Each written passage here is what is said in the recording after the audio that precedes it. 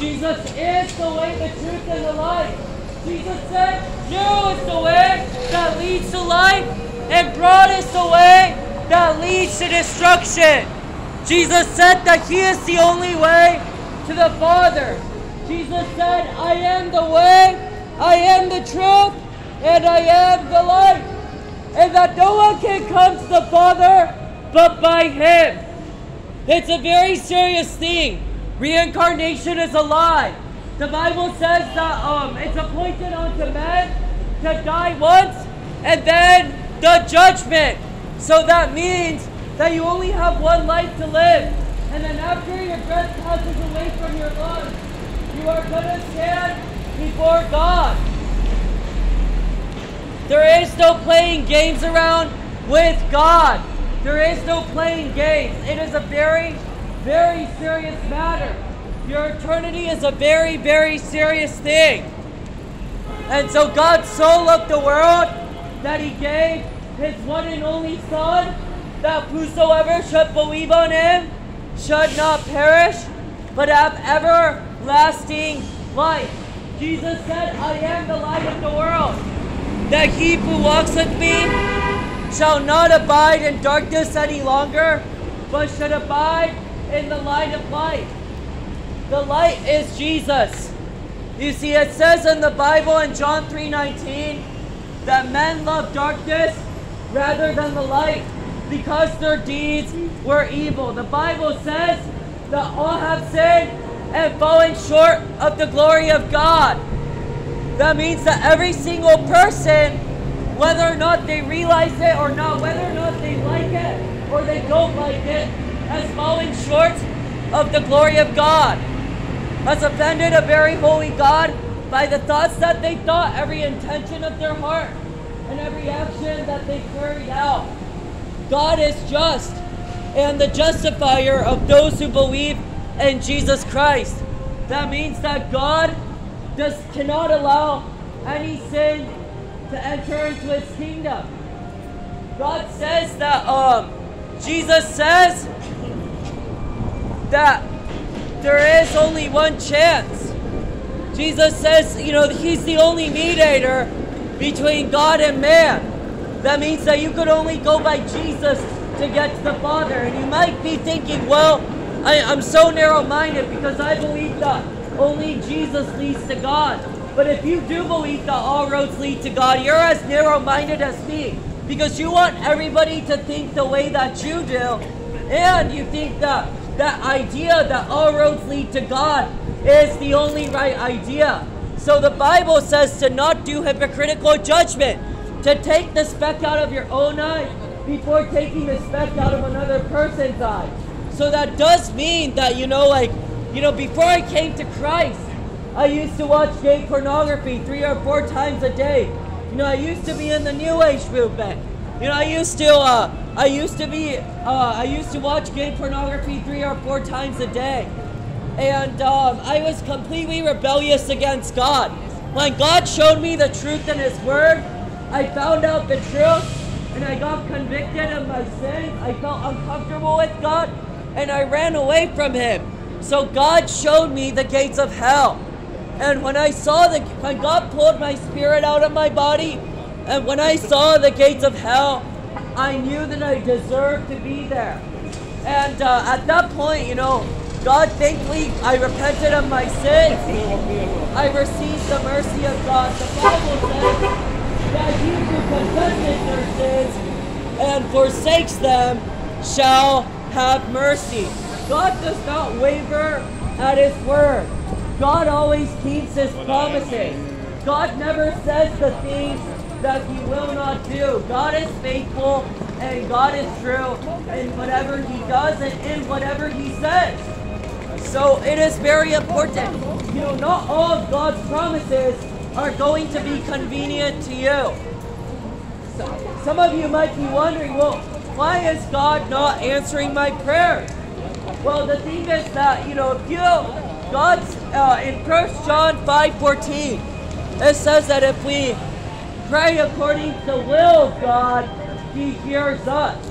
So you have to be praying according to the will of God. or else Jesus Christ is not going to cure you. You know, some people ask me, well, why does bad things happen to good people? Well, they have a point that they're struggling with something. But the thing is that the most innocent person in God's eyes, that was Jesus Christ, experienced the most gruesome way of death in this world. So why can you argue when you sinned against God that bad things happen to you? No.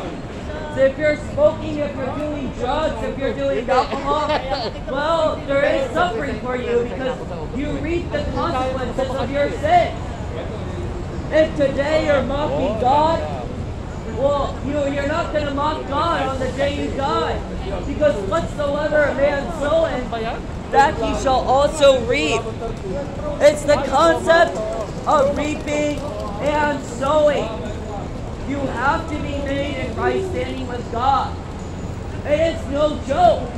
You see, I speak harshly because I love you guys enough to tell you the truth.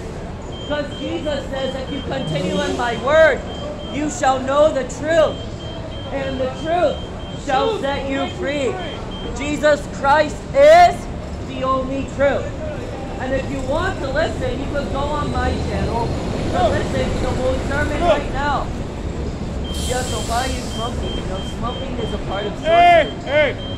You know, Jesus said to judge Yes, righteous judgment. No, Jesus said a spiritual man Not to judge. No, Jesus You're said to good. judge righteous judgment. And I care about your soul. You know, I like how you're wearing that shirt, but we still got a long way. You, you and I still, you know, me too. I got still a long way to go. You and I. Until yeah, both both of us still got Hey, a long way to go. Hey, you're doing good. before. Shut up and do before- good. No, no, no. This I love is you. you see because the thing is that God convicts of sin, whether you're a believer or not a believer. God will still convict you of your unrighteousness, but there is hope. The Bible, Jesus says, Jesus says that if we confess our sins and forsake them, Jesus Christ is faithful and just Repent! to forgive to forgive us of our sins and to cleanse us from all unrighteousness. So that means that we have to confess, forsake our sins, and that embodies repentance. Repentance means that you don't stay dead in your sins. The Bible says that there's two types of death. You could either be dead in Christ or dead in sin. You have to choose this day whom you are going to serve. It is a very serious matter. Eternity is at stake. That's why I'm out here today. It is no joke. God is very serious about your soul. And that's why I'm out here today. To warn you about where you're going to spend eternity apart from Christ. Jesus Christ has great plans and promises for your life, but they're not going to be fulfilled until you repent from sin, the wrong things that you've done against God. You know, Jesus Christ suffered the most gruesome death, the most horrific, the most brutal death on the cross because your sins are ugly. Think about this. If you want to enter into heaven, will you make heaven a prettier place or a nastier place? It's time for you to think about those things very seriously. It's a matter of life or death. Jesus said that, see, I have set before you a way of life and death. Therefore, choose life so that you and your descendants may live. Turn to Jesus today. He is the only way to heaven. He is the only way to be made in right standing with God. He could set you free from any addiction, anything that he considers wrong against God. Jesus is the truth and the only truth. If you believe that all roads lead to God, you're as narrow-minded as me. Because you do believe that there is a God. You believe that that you want everybody to believe the same thing you do.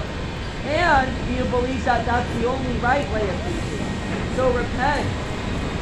Take the speck out of your own eye. Don't do hypocritical judgment.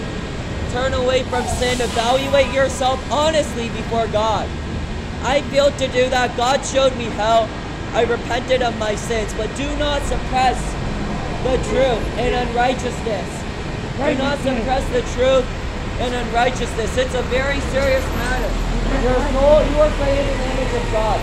Your body may decay and go to the ground, but your spirit's going to live on for, the, for eternity. You see, if you were wrong about, uh, if, if I was wrong about reincarnation, or I was uh, atheism was the reality, and I happen to not believe that, I would have no loss. But if you fail to believe that Christianity was true, you'll have a big loss because your soul will be tormented in hell for the rest of eternity. The Bible says that the smoke of their torment ascends forever and ever, and they shall have no rest day nor night. Hell is eternal conscious torment because of your sins. Turn away from and the remedy of sin is only Jesus Christ. Turn to Him today. He is the answer to all the questions that you have in life. Jesus is the truth. He is the way, the light. Turn to Him. Turn to the cross. Repent for your sins. Amen.